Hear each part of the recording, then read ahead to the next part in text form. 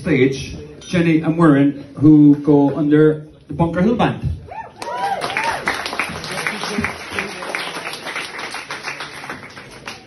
Okay, we're gonna take the vibe down a little bit, guys. We're, we'll let you back to your rock and roll once we've left the stage, but we're gonna just change it up a little bit and give you something different. I know a couple of lads that will be rocking it up in a minute, so you're grand. Yeah. We could do with this. We need this rest for our ears. So.